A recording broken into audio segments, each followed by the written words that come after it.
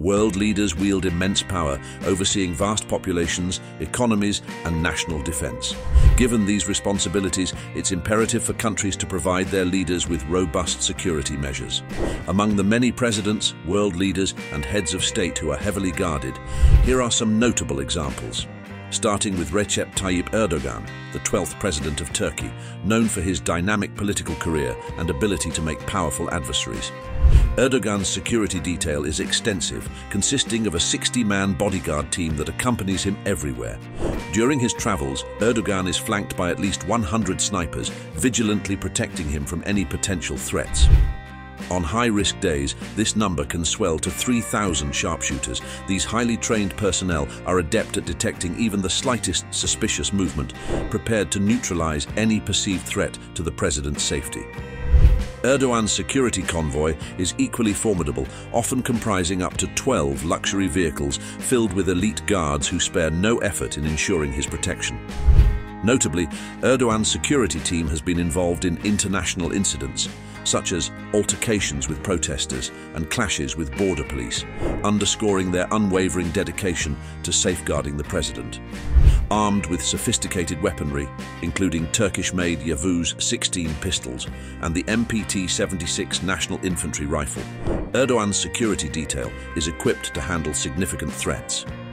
The MPT-76 boasts a range of 600 meters and can fire 600 rounds per minute, showcasing their capability to respond decisively to any security breach. In contrast, India, under Prime Minister Narendra Modi, allocates approximately $48 million annually to his security. Managed by the Special Protection Group, SPG, a specialized force dedicated to the proximate security of the Prime Minister and his family, Modi's security measures reflect India's commitment to ensuring the safety of its highest-ranking leader. These leaders' substantial security investments highlight the critical importance placed on protecting heads of state in an increasingly complex global landscape. Modi's security detail is extensive, comprising over 3,000 highly trained personnel dedicated solely to safeguarding the Prime Minister. This team operates a fleet of vehicles that includes helicopters, drones, planes and motorbikes, ensuring swift mobility and comprehensive security coverage. Members of the Special Protection Group, SPG, tasked with Modi's security, are typically attired in black Western-style business suits paired with dark sunglasses and encrypted communication earpieces. For traditional events, they switch to safari suits to blend seamlessly into their surroundings.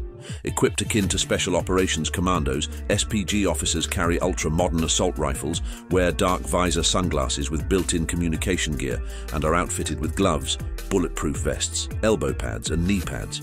When Modi travels across the country, roads are often closed for hours to facilitate the passage of his sizable convoy.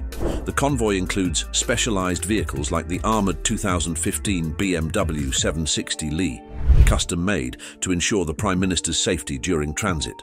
Accompanying vehicles in the motorcade consist of Mercedes Maybach S650 Guards, armoured BMW 7 Series sedans, Range Rovers, BMW X5s, Toyota Fortuners, Land Cruisers, Mercedes-Benz Sprinters and ambulances. An electronic countermeasures car, such as the Tata Safari, is also part of the convoy to thwart guided and radio attacks. All vehicles transporting Modi and his team are certified with VR7 in the BRV 2009 ballistics protection ratings, providing protection against threats ranging from landmine explosions to machine gun fire. These security measures underscore India's commitment to ensuring the safety and security of its Prime Minister, reflecting the challenges and responsibilities that come with leading one of the world's largest democracies. Modi's vehicles are fortified with additional security upgrades that go beyond standard protection measures. These include 3-inch thick undercarriage armour, multi-layer laminated glass, and armour plating on critical areas such as doors, roof, body pillars, front footwell, rear bulkhead, and the roof. To enhance safety, these vehicles are equipped with run-flat tyres capable of travelling even when deflated, advanced heat sensors to detect missiles and bombs, and Kevlar-sealed fuel tanks to prevent explosions. Inside, vehicles like Modi's Mercedes Maybach feature interiors transformed into gas-proof chambers with provisions for fresh oxygen in the event of chemical or biological attacks. Other advanced features reportedly include an intercom system for easy communication, an alarm system, a fire extinguisher with temperature sensors, irritant gas sensors to detect harmful gases, and compartments in the center console for carrying two machine guns. When traveling by air, Modi uses Air India One, a custom Boeing 777-300ER aircraft reserved for the President, Vice President or Prime Minister of India. These aircraft bear distinctive national markings and were constructed in the United States, modelled after Air Force One, the official transport for the US President. For domestic flights, Modi and his team can choose from four 14-seater Embraer 135 aircraft and three customized 46-seater Boeing business jet BBJ 737s equipped with VIP cabins. Modi has even used an Indian Air Force Lockheed C-130J during a visit to Sri Lanka, demonstrating his commitment to security, albeit in a military transport aircraft more suited for wartime than peacetime travel. Airborne security for Modi includes helicopter patrols, including six new Mi-17 V5s approved by India's Defence Ministry, ensuring comprehensive aerial surveillance to preempt any threats. These measures underscore India's dedication to safeguarding its Prime Minister, utilising cutting-edge technology and robust security protocols to ensure Modi's safety in various environments, from roads to the skies. The Mi-17 V5 helicopters boast advanced avionics, onboard navigation systems and night vision devices among their impressive features. To enhance safety, the SPG has outfitted these helicopters with armour plating and increased durability, ensuring robust protection for their passengers. If you're considering a career with the SPG, it's important to note that the organisation does not directly recruit personnel. Instead, recruits are selected from the enlisted ranks of the Central Armed Police Forces and Railway Protection Force. Candidates interested in joining the SPG must undergo rigorous physical and psychological assessments, as well as enhanced security screenings. Typically, deputation to the SPG lasts for five years, with the possibility of extension at the director's discretion. Since its establishment, the Special Protection Group has gained recognition for its readiness to confront any threat to their protectee. This dedication has earned SPG officers 43 President's Police Medals for distinguished service and 319 police medals for meritorious service. Currently, all the advanced technology, expertise and bravery of the SPG are exclusively reserved for Prime Minister Narendra Modi, who remains the sole SPG protectee. Moving on to Guinea, Mamadi Doumbouya assumed the interim presidency after a coup d'etat removed the former president, Alpha Condé, from power. Condé, who previously could have been listed here, saw his security forces unable to prevent his ousting. Interestingly, Mamadi Doumbouya rose through the ranks from corporal to head the Special Forces Group, an elite unit personally groomed by Condé himself. Before his removal, Condé invested significantly in revitalizing Guinea's military capabilities. His efforts included a substantial budget of approximately $119 million in 2005, amounting to 2.9% of the country's GDP. Despite a reduced defense budget of about $30 million in 2006, Condé focused on restructuring the military returning soldiers to barracks, redeploying battalions and retiring around 4,000 personnel. He boosted budgets, escalated the militarization of his administration and tightened recruitment standards. The establishment of the Special Forces, an elite battalion directly financed by the presidency, was a strategic move by Alpha Condé to bolster and professionalize Guinea's military capabilities. This initiative garnered support from international allies who believed the unit could effectively combat drug trafficking and terrorism. Ironically, these efforts unwittingly set the stage for Condé's own downfall. A former government insider revealed that Alpha Condé inadvertently created a formidable and well-equipped force.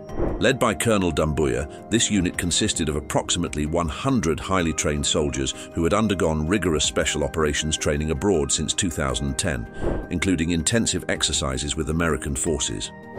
Ultimately, it was this very unit that facilitated Mamadi Doumbouya's overthrow of Condé, propelling him into the presidency. To this day, these soldiers remain fiercely loyal to Doumbouya, entrusted with his protection against potential threats, particularly from remnants of the previous regime. Like much of Condé's military initiatives, Doumbouya's special forces are fully equipped with tactical armor, towed artillery, anti-tank weaponry, rocket launchers, air defense systems and missiles. They excel in reconnaissance and have access to attack helicopters, making them adept at their protective duties. Currently, their primary responsibility is safeguarding interim President Mamadi Doumbouya, solidifying his status as one of the most heavily protected leaders in recent history. Moving on to Mohammed bin Salman al Saud, Crown Prince and Prime Minister of Saudi Arabia, his position as a key figure in one of the world's largest oil exporting nations necessitates rigorous security measures for his personal safety. With an estimated net worth exceeding $13 billion, Mohammed bin Salman wields significant influence in the Arab world, making him a prominent target for various reasons, including his alleged involvement in the murder of journalist Jamal Khashoggi. Before assuming his current role, Mohammed bin Salman served as Saudi Arabia's Minister of Defense, where he implemented sweeping reforms within the country's armed forces, prioritizing his own security and protection amidst the evolving geopolitical landscape. With his dual roles as Crown Prince and Minister of Defense, Mohammed bin Salman consolidated control over all of Saudi Arabia's military and security agencies. Under the guise of enhancing capabilities, he strategically wrested control of these agencies from other royal family members and centralized them under a new entity known as the Presidency of State Security. This restructuring included sweeping reforms across various security agencies nationwide. Key changes involved replacing the Royal Guard commander, appointing a new Chief of Staff for the Armed Forces and other high-ranking officials, all of whom now report directly to him.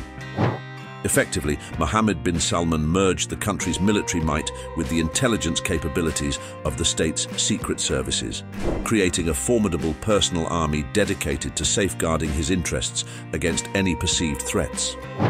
Continually fortifying his influence over Saudi Arabia's security apparatus, Mohammed bin Salman has assembled a robust security detail comprising highly trained soldiers and a vigilant cybersecurity team tasked with identifying potential risks to his safety. Since the initial consolidation, the Crown Prince's security contingent has expanded steadily. Just two years ago, reports surfaced of his initiative to recruit 800 new officers, underscoring ongoing efforts to strengthen his protective capabilities. Moreover, Mohammed bin Salman has significantly modernized the kingdom's military equipment, allocating substantial funds, over $20 billion in 2019 alone, to procure cutting-edge firearms and artillery, ensuring his security team possesses both the expertise and advanced weaponry necessary to fulfill their duties effectively. Given China's status as a global powerhouse, it is unsurprising that the nation spares no effort in safeguarding its president's well-being. The Central Security Bureau plays a pivotal role in this endeavor, overseeing the protection of China's top leadership. At its core is the Central Guard Unit, also known as the Central Guard Regiment, a highly trained bodyguard unit drawn from the ranks of the People's Liberation Army. While this group has historically protected all former Chinese leaders and their immediate families, Xi Jinping's security detail operates with unprecedented rigor and demands unparalleled dedication from its members. The Presidential Protection Unit comprises a brigade organized into three regiments, collectively consisting of over 8,000 personnel divided into seven groups, each further segmented into 36 squadrons. Each subgroup and individual within this structure is assigned distinct roles focused on ensuring the president's security. During Xi Jinping's visit to Hong Kong for its 25th anniversary of returning to Chinese sovereignty on June 30th last year, an unprecedented security operation was enacted. This included strategically placed machine gun positions throughout the city, deployment of ballistic briefcases, and a meticulously orchestrated, extensive motorcade. Throughout the event, Xi Jinping was escorted by elite officers from a VIP protection unit, formerly designated as G4, in addition to his personal bodyguards from the Central Security Bureau, all equipped with advanced armaments. Notably, some security personnel carried lightweight ballistic briefcases capable of converting into bulletproof shields or blankets within seconds. Others were reportedly armed with machine guns concealed within briefcases, ensuring swift and potent response capabilities if confronted with imminent threats. The president's transportation involved a lengthy motorcade comprising approximately 50 police vehicles, accompanying him at all times when on the move. Xi Jinping himself traveled in a fortified bulletproof Hongqi sedan, a luxurious Chinese vehicle historically favored by leaders of the ruling Communist Party since Mao Zedong's era. To enhance aerial protection, a government helicopter maintained a vigilant watch, ready to counter airborne threats. Stringent security measures included the complete blockage of traffic lights along the motorcade route, ensuring uninterrupted movement and minimizing vulnerability to potential attackers. Such extensive precautions illustrate the thoroughness with which the President of China's safety is assured, affording him an environment free from apprehension and threats. Kim Jong-un, the supreme leader of North Korea, has maintained an unwavering grip on power since assuming leadership of the country. His authoritarian rule has naturally attracted opposition, given the lack of democratic governance under his regime. However, Kim Jong-un's extensive security measures make any challenge to his authority exceedingly difficult.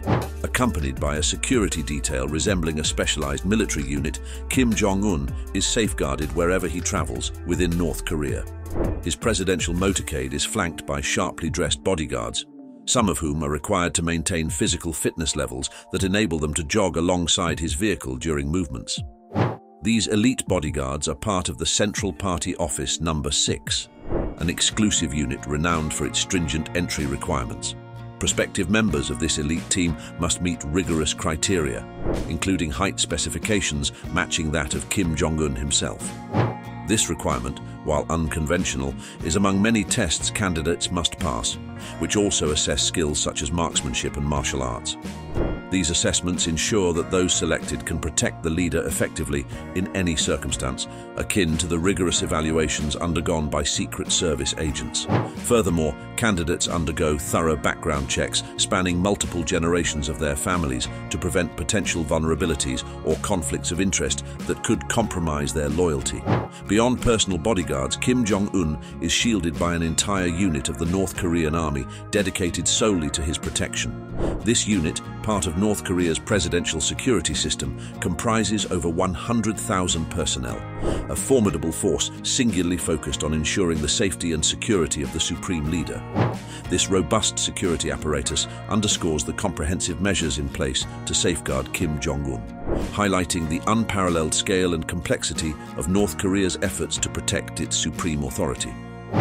Officially designated as the Supreme Guard Command, this unit operates under the oversight of General Yoon Jong-rin from its headquarters in Pyongyang, strategically positioned near Kim Jong-un's main residence.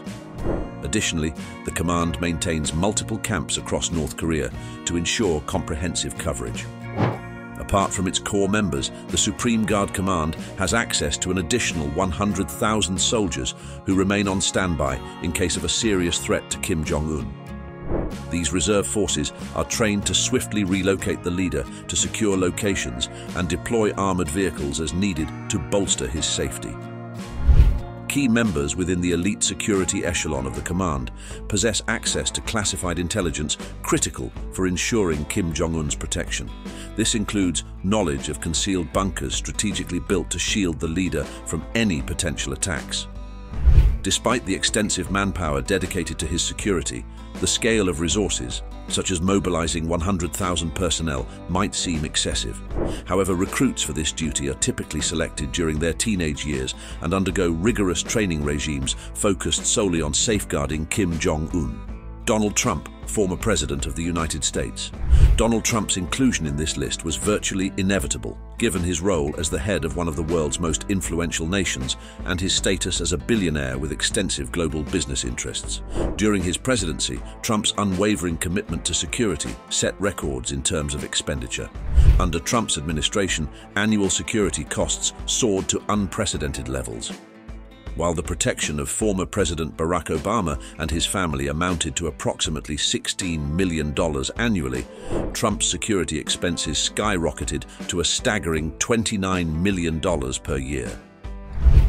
The pinnacle of this expenditure was reached in 2017 when the US Congress allocated an astonishing $120 million specifically for Donald Trump's security and that of his family. This astronomical sum reflected the immense logistical and operational requirements of safeguarding a sitting president.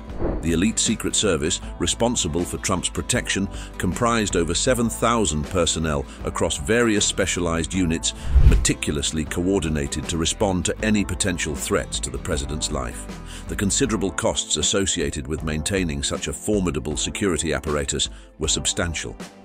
A significant portion of these funds was allocated towards the Beast, the widely renowned and heavily fortified presidential limousine. This vehicle is equipped with 5-inch thick armor plating, multiple layers of bulletproof glass and 8-inch thick doors that create a vacuum seal around the interior. Additionally, its specialized wheel rims enable continued operation even if the tires are punctured. The Beast's fuel tank is meticulously insulated to prevent explosions or leaks, while its interior features an independent oxygen supply in case of chemical emergencies. Nestled in the trunk of this formidable vehicle are firefighting systems, tear gas dispensers, smoke screens, a comprehensive medical kit, and reserves of the President's blood type for potential transfusions. Despite these sophisticated precautions, Trump's security is further reinforced by a dedicated secure communication line that links the entire motorcade, which invariably comprises more than 30 vehicles during each outing, ensuring a substantial and imposing procession. Leading the convoy are local police cars or motorcycles tasked with clearing the route and ensuring a secure passage ahead of the presidential vehicle. Immediately following are pilot vehicles positioned directly in front of the president's car, serving as a protective buffer between the outside world and the president's secure enclave. Directly behind the pilot vehicles are the lead cars, typically consisting of the authentic Beast and its replicas. While there are usually two lead cars, named the original Beast and a replica, the number can vary depending on the president's needs. Trump introduced the practice of deploying multiple replicas of the Beast to both confuse potential assailants and accommodate additional VIPs. Following the lead cars is a half-back vehicle carrying the president's security detail, including the counter-assault team tasked with swiftly responding to any ambushes targeting the motorcade. Behind them rides the watchtower van equipped with antennae to neutralize electronic threats, alongside an ID vehicle responsible for threat identification and coordination with other convoy members, particularly the lead and pilot vehicles. Adjacent to the ID vehicle is the Hazard Mitigation Unit, resembling a black ambulance, equipped to handle biological hazards and ensuring a secure communication network within the motorcade and with external entities. At the rear of the convoy is an ambulance primed to respond to any medical emergencies, prioritizing the President's health and safety. Lastly, the rearguard vehicle secures the rear of the motorcade, ensuring comprehensive protection throughout the entirety of the presidential journey. The entire entourage accompanies the President wherever he travels, whether for a casual lunch outing or an international trip. Alongside the vehicles within his entourage, a multitude of specialized vehicles and aircraft are dedicated exclusively to Trump's security, such as Air Force One, escorted by two F-35 combat jets, Marine One, and Ground Force One. Additional units involved in safeguarding the US president include K-9 units, emergency response teams, sharpshooters, motorized units, and special operations teams, all tasked with executing orders crucial for the president's safety. Vladimir Putin, President of Russia. Russia may be one of the most powerful and controversial countries globally, particularly amidst ongoing geopolitical tensions such as the Ukraine crisis. Given this backdrop, Russia's president, Vladimir Putin, stands as a prominent and highly targeted figure.